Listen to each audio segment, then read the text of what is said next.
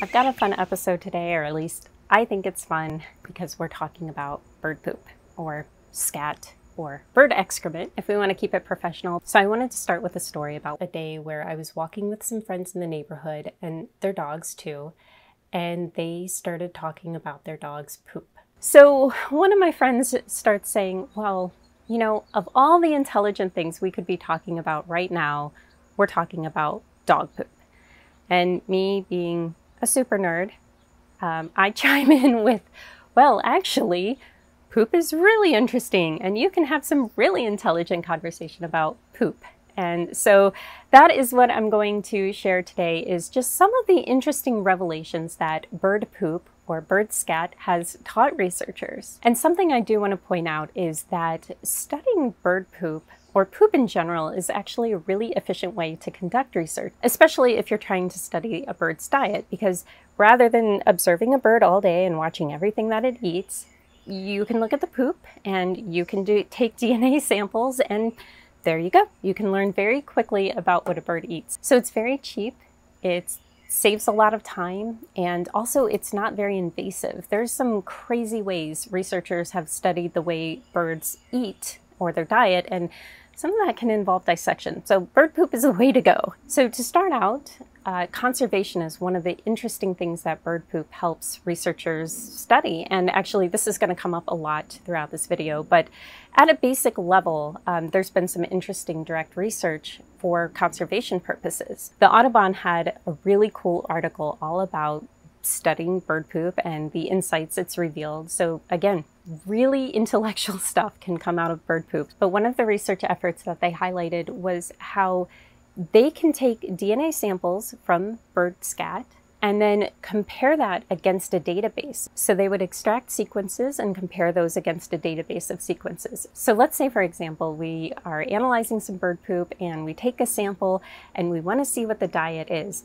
So we extract the DNA and in our database, we can compare it and find that, oh, they were eating currants or they were eating a specific insect, so they can make those comparisons. So all of this can help researchers understand the flora and fauna of a given area, and that can help for restoration projects where we're trying to determine what the native plant composition is for that area and try and revive and restore it. The next really cool thing that I found, which also came from this Audubon article, was a study on hummingbirds. And what they did was collect poop and analyzed it, and they were trying to figure out the composition of a hummingbird's diet.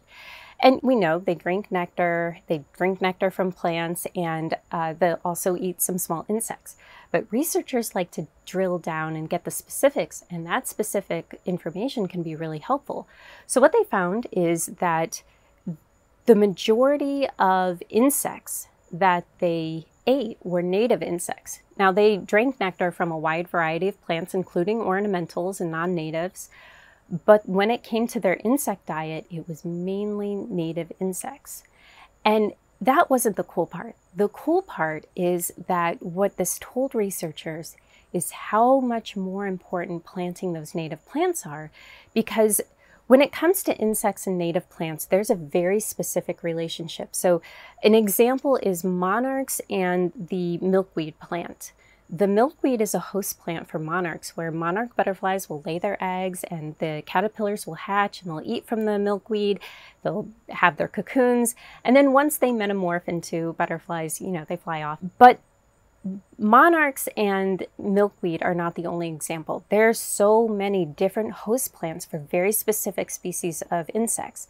And so out of all of this, researchers were finding that it's very important to incorporate native plants into our regular landscaping. The next really neat thing that poop can show us, and we can use this in, in our daily lives, is roosting and perching habits. One of the best examples is using bird poop is a great clue to find where an owl kind of hangs out. So if you were looking for owls, what you would want to look for is some whitewashing. But outside of owls and hawks, bird poop can also show researchers what bird was roosting where. A great example, and I'm working on a video about this too, is Carolina wrens using old hornets' nests as winter roosting sites. And on some occasions, they found the Carolina wren in these hornets' nests, but on other occasions, what they found was excrement on the outside. So they analyze it, and sure enough, it's a Carolina wren. And with more and more research get gathered, they can start to see that this may be something kind of consistent or kind of typical for a Carolina wren, something that's in their behavior specifically. Bird excrement can also teach us about seed dispersal. And I'm not talking about just, oh, birds poop out seeds. But again, researchers can really drill down and they can define the range in which a bird is dispersing the seeds or the type of seeds, or if there's a specific seed that a specific bird is dispersing, or efficiency, where one species of bird might be a better disperser than another species. And the thing about this is, again, it tells us so much about this really neat interconnection that animals have and how they play a role in their environment. And I talk about this all the time, how native wildlife have specific roles in the environment.